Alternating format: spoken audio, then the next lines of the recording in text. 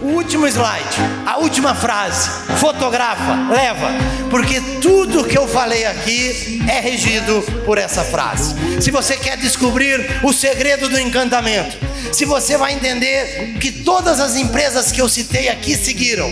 Sim, o Gil da 25 de março, o rapaz do sapato, a moça da manicure, o rapaz do controle, o moço da pizza, a Disney, todos eles e a sua equipe também, se quiserem cantar, vai descobrir e conseguir encontrar a alegria na alegria do outro.